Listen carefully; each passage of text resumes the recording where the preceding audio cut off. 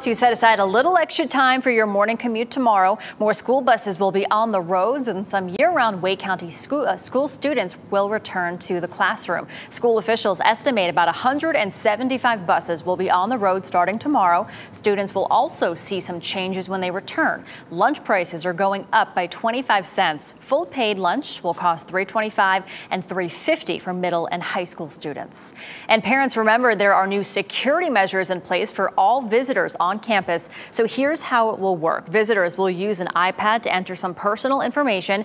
That prompts a quick background check. The system scans databases for things like recent custody orders, protection orders, and sex offender registries. This change comes as many districts across the state make changes to improve security.